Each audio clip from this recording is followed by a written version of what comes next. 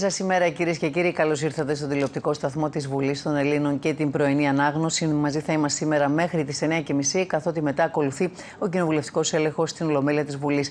Πέμπτη σήμερα, 21 Ιουνίου, μια κρίσιμη μέρα για την οικονομία. Πάμε να δούμε πώς διαμορφώνεται η επικαιρότητα κοινοβουλευτική και πολιτική. Την απόφαση για την εκταμείευση της τελευταίας δόσης αναμένει η Αθήνα στη Σύνοδο των Υπουργών Οικονομικών της Ευρωζώνη σήμερα στο Λουξεμβούργο. Θα προηγηθεί η συνεδρία του Euro Working Group, το οποίο και θα επικυρώσει την ολοκλήρωση του τρίτου προγράμματος, σύμφωνα με το κείμενο συμμόρφωσης των θεσμών που δημοσιεύθηκε από, με όλα τα προαπαιτούμενα της δεύτερης αξιολόγησης, έχουν ολοκληρωθεί αρκετά, ανοίγοντας το δρόμο για την έγκριση της τελευταίας δόσης του προγράμματος. Την ώρα τώρα στο θέμα της ε, των Σκοπιανών, της ονομασίας, την ώρα που στην πρώην Ιουγκοσλαβική Δημοκρατία της Μακεδονίας μένεται ο άγριος πόλεμος μεταξύ του Πρωθυπουργού Ζόραν Ζάεφ και του Πρόεδρου της χώρας, Ιβάνοφ, το Κοινοβούλιο των Σκοπίων επικύρωσε χθες τη Συμφωνία των Πρεσπών με την Ελλάδα για την επίλυση της διαφοράς του νομοτολογικού. Η συμφωνία επικυρώθηκε με 69 ψήφους υπέρ, με τους βουλευτές της αντιπολίτευσης του Βέρε Μερό να μην συμμετέχουν στη συνεδρίαση. Ρίξε με αν τολμάς, απαντά ο Ιβανόφ στον Ζάεφ. Άμεση ήταν η απάντησή του στην απειλή πώς θα τον αποπέμψει αν δεν υπογράψει τη συμφωνία για τη Βόρεια Μακεδονία. Με αυξημένη πλειοψηφία, 180 βουλευτών θα ζητήσει από τον Πρωθυπουργό να γίνει έγκριση της συμφωνίας με την πρώην Ιουγκοσλαβική Δημοκρατία της Μακεδονίας, εάν και όταν έρθει στη Βουλή, επεσήμανε ο πρόεδρος των ΑΝΕΛ και υπουργός της Εθνικής Άμυνας Πάνος Καμένο. Στις δηλώσεις του μετά την κοινή συνεδρίαση της κοινοβουλευτικής ομάδας και της εκτελεστικής γραμματείας των ανεξαρτήτων Ελλήνων, ο κ. Καμένος ζήτησε εισαγγελική παρέμβαση για τις απειλές και πιέσεις που δέχονται στελέχη και βουλευτές του κόμματος από νεοφασίστες και μέλη εγκληματικών οργανώσεων, όπως είπε χαρακτηριστικά. Το αίτημα του κ. Καμένου πάντως έχει απορρίψει εκ των προτέρων ο κυβερνητικός εκπρόσωπος Δημήτρης Τζανακόπουλος κατά την ενημέρωση των πολιτικών συντακτών που τόνισε ότι δεν θα ζητηθεί αυξημένη πλειοψηφία από την Ελληνική Βουλή. Βολές κατά του Υπουργού Άμυνας Πάνου Καμένου εκτόξευσε η Νέα Δημοκρατία με αφορμή τη χθεσινή δήλωσή του. Δεν υπάρχουν πια λέξεις για να περιγράψει κανείς τον κύριο Καμένο. Η δήλωσή του ότι η συμφωνία των Πρεσπών πρέπει να επικυρωθεί με 180 βουλευτές, αλλά ότι εκείνος θα την καταψηφίσει, θα μένει στην ιστορία ως η επιτομή του πολιτικού αυτό εξευτελισμού, ανακοινώνει ε, η Νέα Δημοκρατία στην, ε, στα χθεσινά, στα όσα είπε χθες για τις δηλώσεις του κ. Καμένου. Εν τώρα της επίσκεψης στο Βερολίνο 27 Ιουνίου του Προέδρου της Νέας Δημοκρατίας, ο κ. Μητσοτάκης συναντήθηκε χθες με τον Γερμανό πρέσβη. Ο κ. Μητσοτάκης υπογράμμισε ότι θεωρεί επιζήμια τη συμφωνία με την πρώην Ιουγκοσλαβική Δημοκρατία της Μακεδονίας και επανέλαβε την απόφαση της αξιωματικής αντιπολίτευσης να μην επικυρώσει τη συμφωνία αυτή όταν οι κύριοι Τσίπρας και Καμένος τη φέρουν στην Ελληνική Βουλή.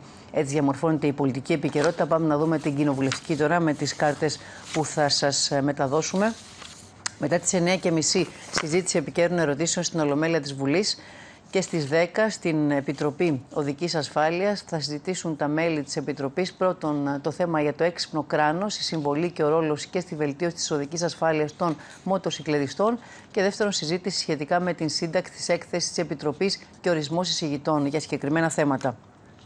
Στις 11 στην Επιτροπή Μορφωτικών Υποθέσεων ε, της Επιτροπής ε, του Ελληνισμού της Διασφοράς, τα μέλη της θα συνέλθουν με θέμα η παιδεία των ομογενών και το σχολείο. Και στην Υποεπιτροπή για τα θέματα των ατόμων με αναπηρία θα συνεδριάσουμε δύο θέματα. Συζήτηση σχετικά με τη σύνταξη έκθεσης της Υποεπιτροπής και ορισμός συγητών, ο συντονισμός ε, μηχανισμός για την εφαρμογή της Σύμβασης των Ηνωμένων Εθνών για τα Δικαιώματα των Ατόμων με Αναπηρία. Να πούμε πως ο, ο, ο πρόεδρος της Δημοκρατίας, ο πρόεδρος της Βουλής, είπα όλα τα αξιώματα. Καταρχήν να καλημερίσω τον συνάδελφο τον Γιάννη Αγουρίδη που είναι κοντά μας εδώ στην πρωινή ανάγνωση. Είναι οικονομικός συντάκτης από την Αυγή. Θα συζητήσουμε τι γίνεται με το Eurogroup σήμερα. Καλημέρα Γιάννη. Είναι πολύ ενδιαφέρον τι θα γίνει στις ε, Βρυξέλλες, στο Λουξεμβούργο γιατί από σήμερα θα κρυθούν τα πάντα για την πορεία της οικονομίας. Πριν από αυτό όμως, να πάμε στην Σοφία Στεφάνου, που είναι ακόμη στο Πεκίνο και παρακολουθεί τις ε, συναντήσεις που έχει ο πρόεδρος της Βουλής εκεί και να μας πει το σημερινό πρόγραμμα του πρόεδρου. Καλημέρα, Σοφία. Καλημέρα και από τη Σανκάη. Μόλις ε, έφτασε ο πρόεδρος της Βουλής στη Σανκάη, συνεχίζοντας την επίσημη επίσκεψή του στη Λαϊκή Δημοκρατία της Κίνας. Ε, σε λίγη ώρα θα επισκεφθεί το εκθεσιακό κέντρο αστικού σχεδιασμού της Σανκάης και κατόπιν θα έχει μια συνάντηση και κάποια παρουσίαση από τον ε, πρόεδρο της ε, Κόσκο, τον Κάπτεν Σούλι Ρόγκ. Είναι μια συνάντηση στην οποία δίνουν σημασία τόσο η ελληνική πλευρά όσο και η Κόσκο που όπως γνωρίζουμε έχει προβεί ήδη σε επενδύσεις στην Ελλάδα και ενδιαφέρεται και περαιτέρω για την συνεργασία με τη χώρα μας. Μάλιστα. Αύριο ο πρόεδρος της Βουλής θα έχει μια συνάντηση με τον ισχυρό άντρα της Σανκάη, τον ε, δήμαρχο της Σανκάη, τον κύριο Γινγκόν. Μάλιστα. Σοφία, πότε με το καλό επιστρέφεται στην Αθήνα η αποστολή του πρόεδρου και ο κύριος Βούτσης; Ε, ξημερώματα Σαββάτου. Μάλιστα.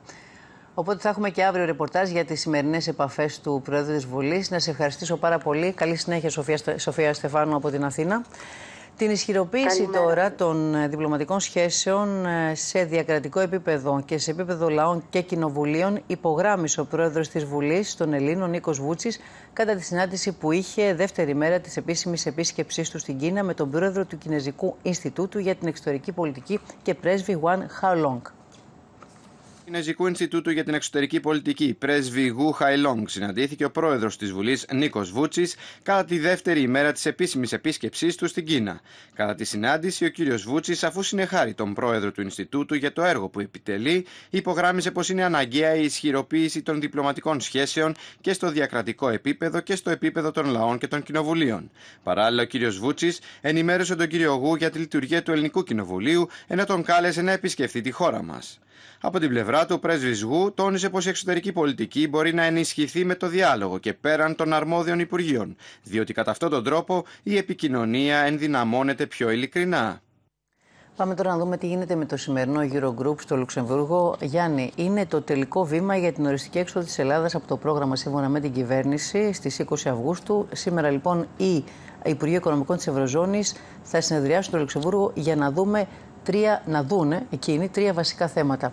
Ε, να τα δούμε πρώτα σε κάρτα που τα έχουμε ετοιμάσει ε, για τους τηλεθεατές μας ε, ποια είναι τα σημερινά θέματα της ατζέντας του Eurogroup και να μας εξηγήσει και εσύ λίγο τις επιμέρους λεπτομέρειες. Ανοίγει καταρχήν ο δρόμος για την εκταμείευση της τελευταίας δόσης, έτσι δεν είναι; Πολύ σωστά. Είχαμε χθες και την έκθεση συμμόρφωσης της Κομισιόν, η οποία δημοσιοποιήθηκε. Mm Πρόκειται για το αποκαλούμενο Compliance Report, όπου εκεί ουσιαστικά λέει ότι ολοκληρώθηκαν τα 88 προαπαιτούμενα τα οποία είχε να κάνει η Βλέπουμε κυβέρνηση. Βλέπουμε την κάρτα, συγγνώμη που σε διακόπτω. Ναι, ναι, ναι. Αυτή είναι η ατζέντα σημερινή, 5η 21 Ιουνίου. Θα συζητηθούν η μεταμνημονιακή πορεία της χώρας, πώς θα πάει από εδώ και πέρα, από τον Αύγουστο του 18 και μετά. Τέταρτη αξιολόγηση και πρόεδρος, το, πρόοδος των προαπαιτουμένων που εκκρεμούν και στρατηγική διευθέτηση του ελληνικού χρέους. Πολύ σωστά. Ε, σε σχέση να ξεκινήσουμε με το πιο εύκολο ναι. από όλα, που είναι η τέταρτη αξιολόγηση. Η τέταρτη αξιολόγηση επί της ουσίας έκλεισε. Το αναφέρει και η έκθεση μόρφωση. Οπότε αναμένουμε τώρα να υπάρξει εκταμείευση της δόσης. Θα δούμε ποιο θα είναι το ύψος σήμερα. Κανένας δεν γνωρίζει. Είχε πει την προηγούμενη εβδομάδα ο κύριος Ρέκλινγκ όταν ήρθε στην Αθήνα ότι θα είναι ένα ποσό της τάξης 10 με 12 δισεκατομμυρίων. Νομίζω ότι θα είμαστε πολύ παραπα... παραπάνω, δεν ξέρω αν θα είναι πολύ λίγο, διότι θα δοθεί και ένα, ένα μέρος αυτής για το χρέος. Υπάρχει δηλαδή να υπάρξει και μια έκπληξη από ό,τι διαβάζουμε για ναι. ένα ε, ποσό που θα αυξηθεί ως μαξιλάρι ασφάλειας, λίγο παραπάνω από αυτό που μας είπες. Ακριβώς, θα συνδυαστεί επί της ουσίας με την απόφαση για το ελληνικό χρέος. Σε σχέση τώρα με την έκθεση συμμόρφωσης, δύο-τρία στοιχεία μπορούμε να κρατήσουμε. Ένα είναι ότι προβλέπει ανάπτυξη κοντά στο 2% για τα επόμενα χρόνια, όπως προβλέπει και το μεσοπρόθεσμο πλαίσιο. Κλείνει την αξιολόγηση επί της ουσίας με βάση τα όσα αναφέρει. Περιλαμβάνει την ε, ε, επίτευξη, τη, τη διατήρηση των μέτρων 19 και 20, αλλά και τη διατήρηση των αντίμετρων για το 19 και 20. Θα δούμε βέβαια αν εν τέλει δεν μείνει το δουνού του τι θα γίνει. Και σε σχέση με τα υπόλοιπα, για τη μεταμνημονιακή επιτήρηση, εξ όσων γνωρίζουμε, στο κείμενο το οποίο έχει διαμορφωθεί και αναμένεται να ε, εγκριθεί σήμερα από το Eurogroup, θα υπάρχει ρητή αναφορά στην δυνατότητα της ελληνικής κυβέρνησης για αύξηση του κατώτατου μισθού. Ξεπερνιέται δηλαδή η απόφαση του 2012. Ε, μπορεί να γίνει από το φθινόπωρο και μετά. Φαντάζομαι ότι πιο κοντά είναι να... το πιο εύκολο είναι να γίνει το 19. Mm Από εκεί και πέρα θα περιλαμβάνει προφανώς τη δέσμευση της ελληνικής κυβέρνησης για τα πρωτογενή πλεονάσματα των επόμενων ετών. Θυμίζω ότι μέχρι και το 2022 είμαστε στο 3,5% και από εκεί και πέρα υπάρχει μια αναφορά από το περσινό Eurogroup ότι πρέπει να διατηρούμε ένα πλεόνασμα 2% ε, και κάτι παραπάνω. Νομίζω ότι σήμερα θα καθοριστεί το πόσο παραπάνω. Οι υπόλοιπες χώρες της Ευρωζώνης ε, δεσμεύονται με το να έχουν 2,6%. Προφανώς θα είναι μικρότερο από το 2,6%. Από εκεί και πέρα, ε, νομίζω ότι η απόφαση για τη μεταμνημονιακή επιτήρηση θα περιγράφει με ποιο τρόπο θα γίνονται οι έλεγχοι από εδώ και πέρα. Έχουμε πληροφορίες, Γιάννη, για, σχετικά με αυτό που είχε πει πριν από λίγο καιρό ο κ. Σακαλώτος στη συνέντευξή του, ότι μπορεί να είναι και τέσσερις φορές το χρόνο αυτή η επιτήρηση. Είχαμε δύο φορές το χρόνο, δηλαδή κάθε εξάμεινο μέχρι τώρα είχαμε συνηθίσει. Υπάρχει κάποια αλλαγή σε αυτό ή σήμερα θα αποφασιστεί; Σήμερα θα καταγραφεί. Ε, θα είναι ε, μία φορά το τρίμηνο. Το έχει πει ο κ. Τσακαλώτος, το είπε και ο κ. Κοστέλο και η διάρκεια αυτού του τύπου της ε, επιτήρησης θα, θα είναι δύο με τρία χρόνια. Ωστόσο, θα πρέπει να σημειώσουμε, το είπε και χθες ο κ. Τζανακόπουλος, ότι αυτή η επιτήρηση δεν έχει καμία σχέση με μνημόνιο, δεν έχει καμία σχέση με πρόγραμμα, δεν υπάρχουν νέες δεσμεύσεις. Φαίνεται και από το χθεσινό κείμενο της Κομισιόν για την έκθεση συμμόρφωσης. Αυτή η επιτήρηση δεν ακυρώνει αυτό που λέει η κυβέρνηση περί καθαρής εξόδου. Δηλαδή, ε, θα υπάρχει ένας μηχανισμός ε, ελέγχου εάν εμείς ακολουθούμε και συνεχίζουμε να υλοποιούμε τα προαπαιτούμενα αυτό; Θα υπάρχει ένας μηχανισμός ελέγχου για το να επιτυγχάνονται οι στόχοι. Από εδώ και πέρα τον τρόπο με τον οποίο θα φτάσουμε στους στόχους θα τον επιλέγει η ελληνική κυβέρνηση. Νομίζω φαίνεται και από τις δηλώσεις των τελευταίων ημερών και στα επίσημα κείμενα. Θα το δούμε βέβαια και σήμερα σε, σε όλο το πλαίσιο. Υπάρχει ένα ενδεχόμενο να υπάρξει σύνδεση προαπαιτουμένων, το θεωρώ σχεδόν σίγουρο, ναι. με ένα μέρος της ελάφρυνσης του χρέους πολύ μικρό. Πρόκειται επί της ουσίας για την επιστροφή των λεγόμενων άμφας και S&P, είναι τα κέρδη της Ευρωπαϊκής Κεντρικής Τράπεζας τα, τα κέρδη που αποκομίζουν οι ευρωπαϊκές κεντρικές τράπεζες από τα ελληνικά ομόλογα, αυτά είναι κοντά στα 12 δισεκατομμύρια ευρώ. Θα επιλεγεί ένας τρόπος να επιστρέφονται σταδιακά ε, στη χώρα μας. Ε, μπορεί να είναι ένα ποσό της τάξης του 1,2 δισεκατομμυρίων ανά εξάμεινο, ανά χρόνο, θα το δούμε πώς θα είναι ακριβώς. Και αυτό να συνδεθεί με, με κάποια προαπαιτούμενα. Το υπόλοιπο μέρος του χρέους, για να περάσουμε τώρα και στην απόφαση για το χρέος, δεν αναμένεται, σύμφωνα με τις τελευταίες πληροφορίες, να συνδεθεί με κάποιο τύπου προαπαιτούμενα. Ένα μεγάλο ζήτημα είναι το τι θα γίνει με τα δάνεια του FSF, δηλαδή του δεύτερου ναι. προγράμματος. Εκεί έχουμε 131 δισεκατομμύρια ευρώ. Η επιμήκυνση η οποία θα γίνει θα είναι πολύ κρίσιμη, το αποτέλεσμά της μάλλον θα είναι πολύ κρίσιμο, σε σχέση με το πώς θα το εκλάβουν οι αγορές. Θυμίζω ότι η Γερμανία μπήκε στη διαπραγμάτευση αυτή την τελευταία, ε, προσπαθώντας να περάσει ναι, επιμήκυνση τριών ετών, χρονική επιμήκυνση. Ε, η Κομισιόν ήθελε κοντά στα 10, το Δούνου του ήθελε 15. Η αίσθηση που έχω είναι ότι θα είναι γύρω στα 9 χρόνια. Και αυτή θεωρείται μια καλή απόφαση και από την πλευρά μας και από την πλευρά των αγορών. Βάζουμε μία ανατελεία, ναι. Γιάννη, στη συζήτησή μας για το σημερινό Eurogroup, γιατί θέλω να πάμε στη χθεσινή ολομέλεια που κύρωσε η συμφωνία ανάμεσα στην Ελλάδα και στο Ισραήλ. Κάτι πλειοψηφία επί της αρχής, των άρθρων και στο σύνολό του ψηφίστηκε το σχέδιο νόμου του Υπουργείου Εξωτερικών που αφορά την κύρωση συμφωνίας ανάμεσα στο Ισραήλ και την Ελλάδα, με θέμα την επικερδή απασχόληση των εξαρτώμενων μελών και των μελών διπλωματικών αποστολών ή προξενικών αρχών και άλλες διατάξεις. Στην τοποθέτησή του, ο Υπουργό Εξωτερικών Γιάννης Αμανατίδης ανέφερε χαρακτηριστικά πως μετά τις πρόσφατες εξελίξεις στα εξωτερικά μας θέματα, η Ελλάδα θα προχωρήσει ενωμένη. Το νομοσχέδιο υπερψηφίστηκε από τα κόμματα της αντιπολίτευσης, εκτός από τη Χρυσή Αυγή, που δήλωσε παρόν και το Κομμουνιστικό Κόμμα Ελλάδος που το καταψήφισε. Στη χώρα μας, ως πόλος σταθερότητας στην ευρύτερη περιοχή της Νοτιοανατολικής Μεσογείου, αναφέρθηκε ο Υφυπουργός Εξωτερικών Ιωάννης Αμανατίδης κατά την τοποθέτησή του στην Ολομέλεια, όπου συζητήθηκε το σχέδιο νόμου του Υπουργείου Εξωτερικών για την κύρωση συμφωνίας μεταξύ Ελλάδας και Ισραήλ σχετικά με θέματα διπλωματικών αποστολών. Η πολιτική μας συνολικά είναι στρατηγικά στην ευρύτερη περιοχή η δημιουργία σχημάτων σταθερότητας, έτσι ώστε η οποιαδήποτε προσπάθεια αποσταθεροποίησης από δυνάμεις οι οποίες θα το προσπαθήσουν ή το προσπαθούν να μην ευοδοθούν.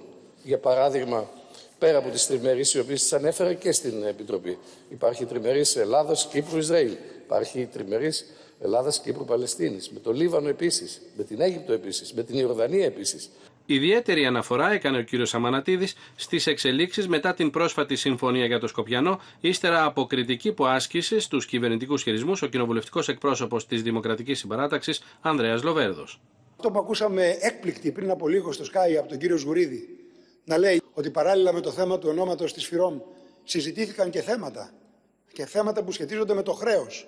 Δηλαδή μπήκανε στη ζυγαριά, είναι η ερμηνεία, θέματα τα οποία σχετίζονται με την οικονομία της χώρας και το χρέος, χάρη ίσω των οποίων αυτών θεμάτων δόθηκε και κάτι παραπάνω στα Σκόπια. Αύριο κλείνει ένας κύκλος μνημονίων με μια συνολική ρύθμιση για τη χώρα μας. Είμαστε περήφανοι που μετά από τρία χρόνια καταφέρνουμε και βγάζουμε την Ελλάδα μπροστά.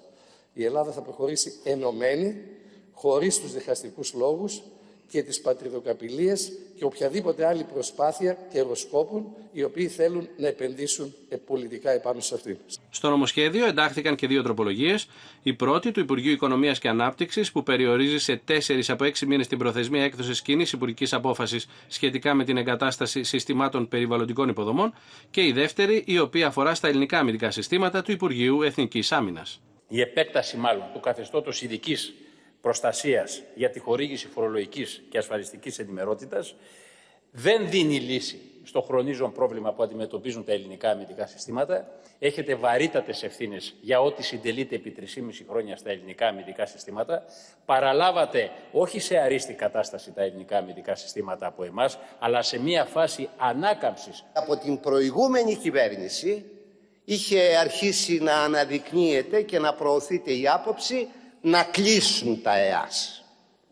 Και τα ΕΑΣ δεν έκλεισαν και παρεδόθησαν στην παρούσα κυβέρνηση στην κατάσταση που σας είπα, επειδή τότε υπήρξε και κινητοποίηση και αντίδραση και βεβαίως να διατηρηθούν τα ΕΑΣ, αλλά να διατηρηθούν και να πορευθούν σε μία καινούρια πορεία, προκειμένου να μπορέσουν να σταθούν και όχι μόνο να πληρώνουν τους εργαζομένους και πληρώνονται οι εργαζόμενοι, αλλά ταυτόχρονα να ανακάμψει και επιχειρηματικά.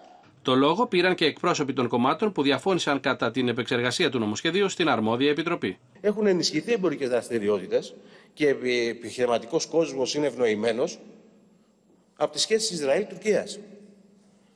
Μήπως μέσω των λόμπι ανοίγουμε ένα παραθυράκι μέσω αυτών των κυρώσεων το Κομμουνιστικό Κόμμα Ελλάδος καταψηφίζει με πολιτικά κριτήρια τη συγκεκριμένη συμφωνία που φέρνει η κυβέρνηση για κύρωση στη Βουλή, αναδεικνύοντας παράλληλα τον, τον δολοφονικό ρόλο που εκπληρώνει το Ισραηλινό κράτος κατά του Παλαιστινιακού λαού για τις επιθέσεις του στο έδαφος της Συρίας και τις επιλέσεις κατά του Ιράν και άλλων κρατών της περιοχής.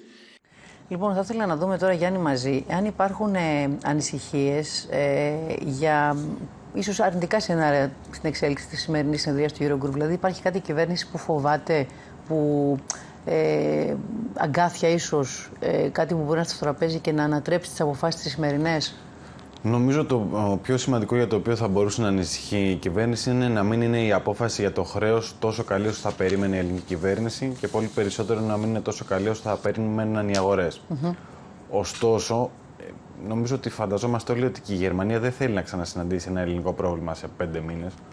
Ε, οπότε θα, φαντάζομαι ότι θα καμφθούν οι όποιε αντιστάσεις και θα είναι μια καλή απόφαση για το χρέος.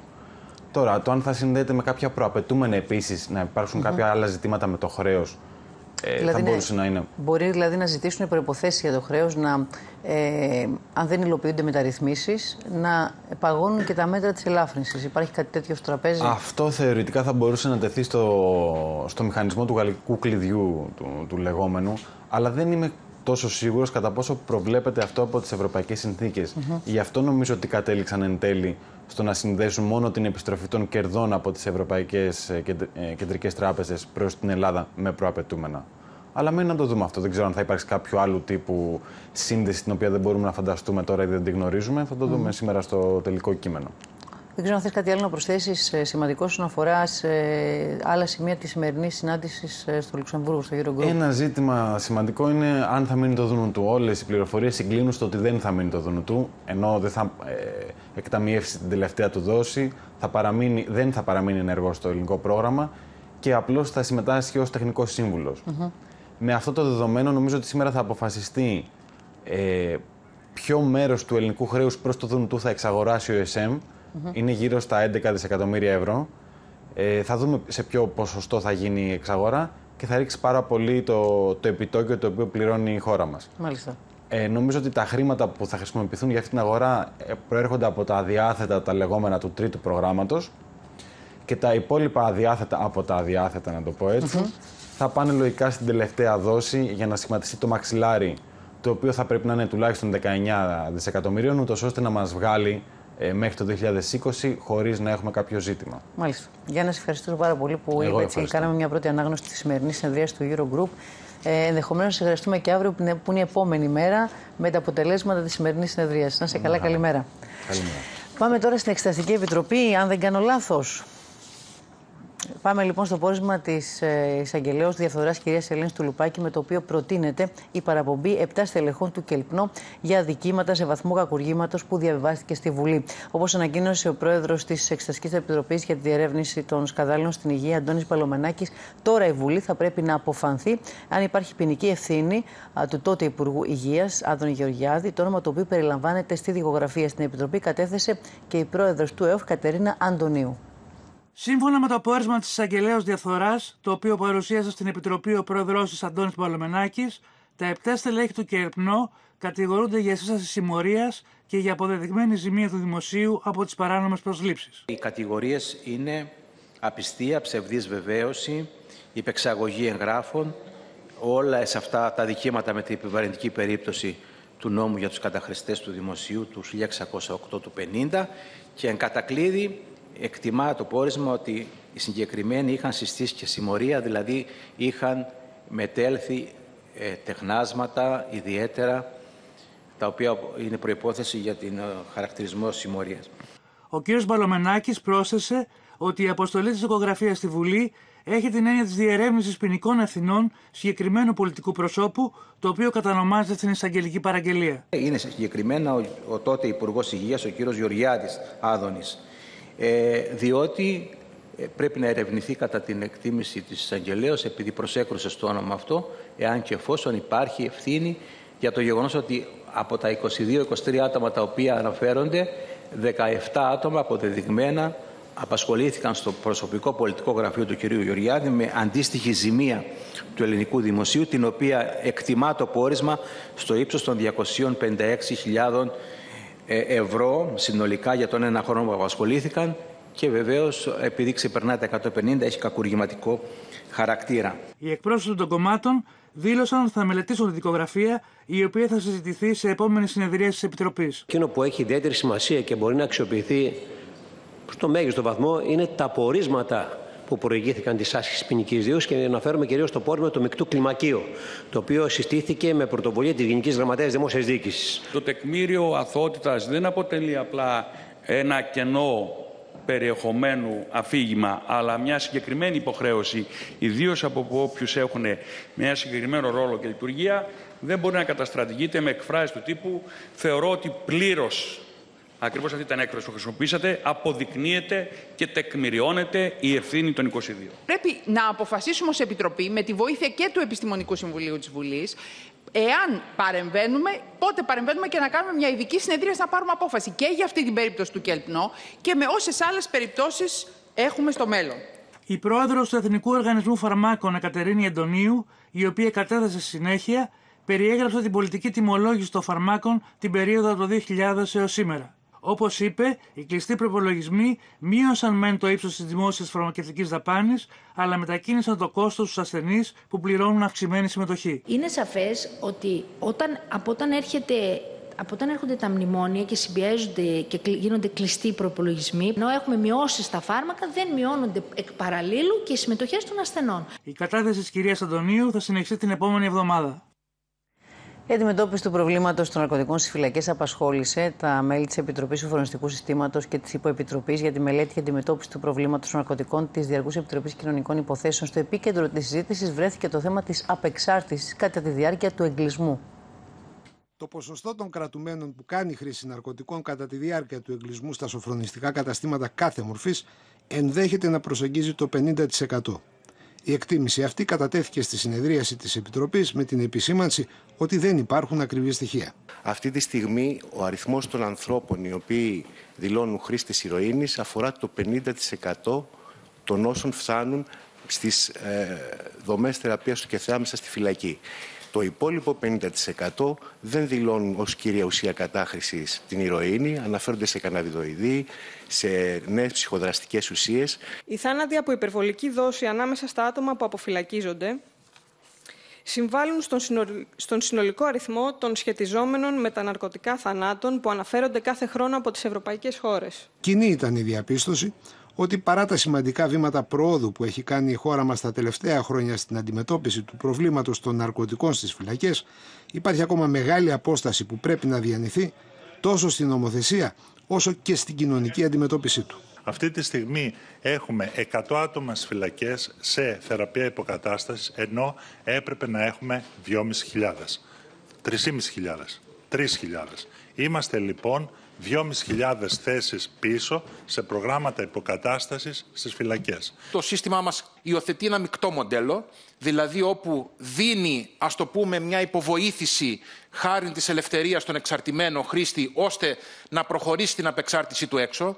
Αν έχει ενταχθεί σε ένα πρόγραμμα απ' έξω, ε, από τα αναγνωρισμένα προγράμματα έχει μια βοήθεια στην ποινική του υπόθεση. Αναγνωρίζεται δηλαδή αυτή η θέση ότι είναι προτιμότερη η απεξάρτηση σε συνθήκες ελευθερίας παρά ένα σκέτος εγκλισμός, γιατί θα κερδίσουμε και τίποτα. Αλλάζουμε κλίμα. Έκθεση φωτογραφίας με αφορμή την Παγκόσμια ημέρα προσφύγων διοργανώνεται στο περιστήριο της Βουλής και περιλαμβάνει φωτογραφίες πορτρέτα του Ελβετού φωτογράφου Μαρκ Χένλεϊ. Την έκθεση εγγενίασαν η τρίτη αντιπρόεδρος της Βουλής, κυρία Τασία Χριστοδουλοπούλου, και Υπουργός Πολιτισμού Λιδία Κονιόρδου, παρουσία αντιπροέδρων της Βουλής, του Γενικού Γραμματέα του Κοινοβουλίου Κώστα Αθανασίου, βουλευτών και εκπροσώπων της Ελβετικής Πρεσβείας. Το μήνυμα ότι οι πρόσφυγες, οι κυνηγημένοι από την πατρίδα τους, μπορούν να βρεθούν στο κέντρο της πολιτικής πραγματικότητας μιας χώρας που τους υποδέχεται και τους αγκαλιάζει, δίνει η Βουλή των Ελλήνων με αφορμή την Παγκόσμια ημέρα προσφύγων που καθιερώθηκε από τον Οργανισμό Ηνωμένων Εθνών. Στο περιστήλιο της Βουλής θα φιλοξενηθεί ως τις 27 Ιουνίου έκθεση φωτογραφιών με πορτρέτα προσφύγων μέσα από το φακό του Ελβετού φωτογράφου Μαρκ Χένλεϊ με τίτλο «Αντιμετωπίζοντας την προκατάληψη». Στην ουσία από το 2015 η ανθρωπότητα χωρίστηκε σε δύο κόσμους. Στον κόσμο της μυσαλλοδοξίας και στον κόσμο της αλληλεγγύης. Ο καθένας μας μπορεί να επιλέξει το στρατόπεδο που θα τοποθετηθεί απέναντι σε αυτό το σημαντικό πρόβλημα. Νομίζω ότι οι πρόσφυγες πολέμου, οι πρόσφυγες που έχουν φύγει από το θάνατο, τη βία και την καταστροφή, αξίζουν υποδοχής από όλο τον κόσμο, αξίζουν της αλληλεγγύης μας και όχι των πολιτικών που τους διώχνουν από τις χώρες, που κλείνουν σύνορα, που τους καταδιώκουν και που δεν τους δίνουν τα δικαιώματα προστασίας που έχουν κατοχυρωθεί από το 1951 με τη συνθήκη της Γενέβης.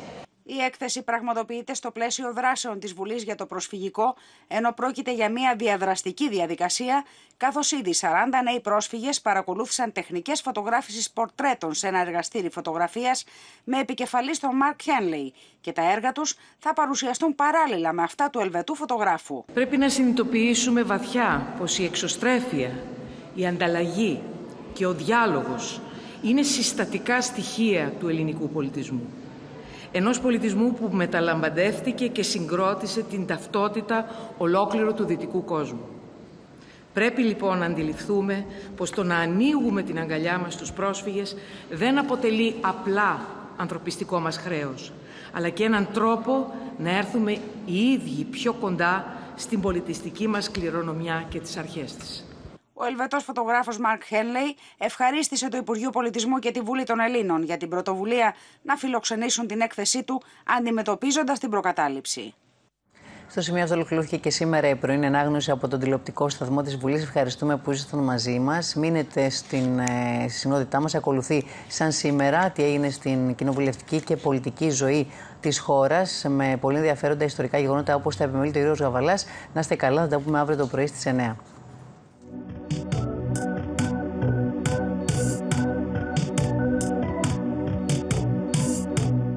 Οι γυναίκες διεκδικούσαν το δικαίωμα ψήφου για μισό αιώνα περίπου έως το 1900. Οι ειρηνικές διαμαρτυρίες όμως δεν οδηγούσαν πουθενά. Έτσι, το 1903 ιδρύεται στο Μάντσεστερ η Κοινωνική και Πολιτική Ένωση Γυναικών από την Έμελιν Πανκέρστ και τις κόρες της για να ξυπνήσει το έθνος μέσα από πράξη και όχι λόγια. Η απόφαση που άλλαξε ριζικά τη μορφή του κινήματος ήταν η μεταφορά της έδρας της Ένωσης στο Λονδίνο το 1906. Το 1908, σαν σήμερα, ήταν η μέρα Κυριακή και ονομάστηκε η Κυριακή των Γυναικών, γιατί ήταν η πρώτη μεγάλη συνάντηση των σουφραζέτων στο Λονδίνο. Συγκέντρωσε γυναίκες από όλη τη χώρα για τις 7 διαφορετικές πορείες στο κέντρο του Λονδίνου. Οι πορείες κατέληγαν όλες στο Hyde Park, όπου υπήρχαν 80 ομιλητές. Συνολικά εκείνη τη μέρα το Hyde Park είχε περίπου 300.000 διαδηλωτές για να ζητήσουν δικαίωμα ψήφου. Λίγους μήνες μετά την επίσημη επίσκεψη Καραμαλής στις ΗΠΑ, καταθέτουν ευνηδιαστικά πρόταση μορφής κατά της κυβέρνησης η Φιλελεύθερη, η Δημοκρατική Ένωση και η Κίνηση Εθνικής Αναδημιουργίας του Γεώργιου Γρίβα, επικαλούμενη την πρόσφατη απόλυση για κακό χειρισμό οικονομικών θεμάτων του Έλληνα πρέσβη στη Βόνη Θωμά Υψηλάντη, την ένταξη της χώρας στην ΕΟΚ και τα προβλήματα των σιτοπαραγωγών. Σαν σήμερα η πρόταση απορρίπτεται με ψήφους 175 έναντι 115. Υπό την ηγεσία του Ενρίκο Μπερλίνγκουερ, το Κομμουνιστικό Κόμμα Ιταλίας έφτασε στο απόγειο της δύναμής του, αναδείχθηκε το ισχυρότερο Κομμουνιστικό Κόμμα της Δυτικής Ευρώπης, κερδίζοντας στις εκλογές του 1972 το 27,2% των ψήφων και στις εκλογές του 1976 το 34,4%. Ο ιστορικός συμβασμός, δηλαδή ο σχηματισμός κυβέρνησης συνασπισμού μεταξύ χριστιανοδημοκρατών και κομμουνιστών που επιδίωκε ο Μπερλίνγκουερ, δεν πραγματοποιήθηκε. Η επιρροή του Κομμουνιστικού Κόμματος στην κυβέρνηση μειοψηφία των χριστιανοδημοκρατών αυξήθηκε αισθητά και απόδειξη αυτή ήταν και η εκλογή του κομμουνιστή Πιέτρο Ιγκράου στο αξίωμα του Προέδρου της Βουλής με την ενοχή των χριστιανοδημοκρατών.